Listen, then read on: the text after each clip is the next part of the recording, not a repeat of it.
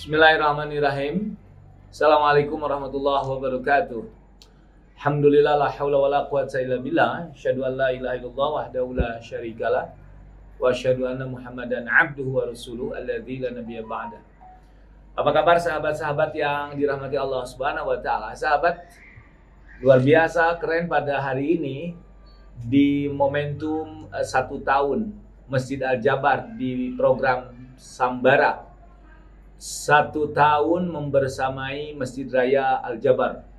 Masjid Al Jabar, masjid kebanggaan dan menjadi ikon Jawa Barat dan juga Indonesia pada umumnya.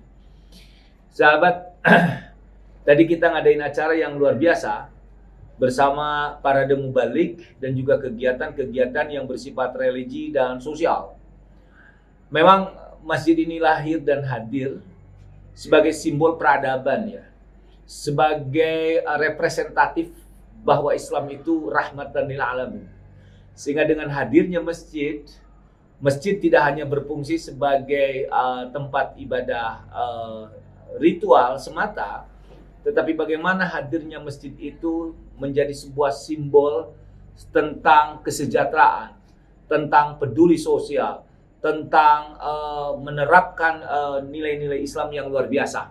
Begini teman-teman, uh, ada satu fenomena yang cukup menarik ya, di mana masjid berdiri di mana-mana, majlis talim banyak di mana-mana, tapi implementasi dan aplikasi dari kehadiran masjid, kehadiran majlis talim itu agak tidak meng, um, tidak mengedukasi dan tidak menjadi sebuah representatif dari Islam. Sehingga teman-teman ada satu pertanyaan yang cukup mengusik kita.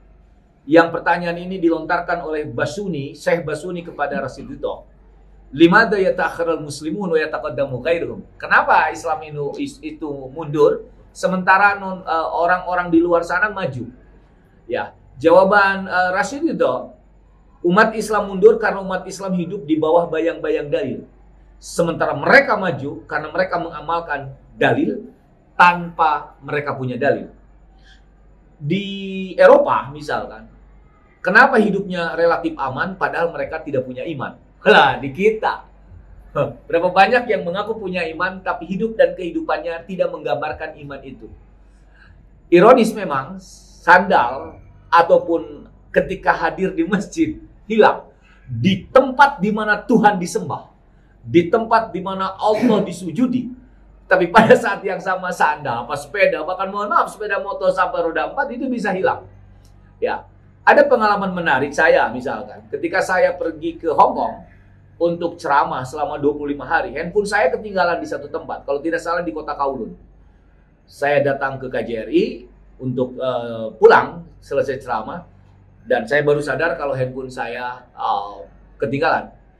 Bukan di tempat saya, saya tidak kenal banyak orang, ya asing. Dua hari kemudian handphone itu kembali utuh.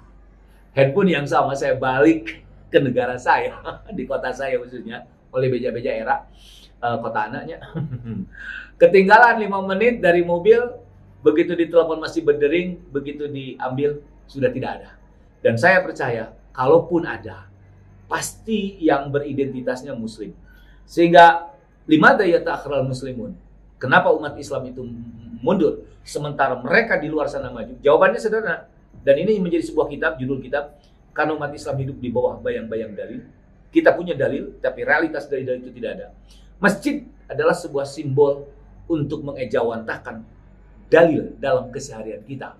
Ya, hadirnya masjid terutama keren Al-Jabar yang dirancang oleh mantan Gubernur Jawa Barat, Pak Ridwan Kamil, ini tidak hanya menjadi simbol uh, rohani, tidak hanya simbol wisata religi, tapi juga menjadi sebuah daya tarik untuk menikmati keindahan masjid ini sebagai wujud bahwa bangunannya saja bisa menebar dan menabur rahmatan lil alamin. Terima kasih sahabat, saya Truyat Arasid, Ketua Rumah Tafid Aksara Quran Kabupaten Garut. Salam hormat, Assalamualaikum warahmatullahi wabarakatuh.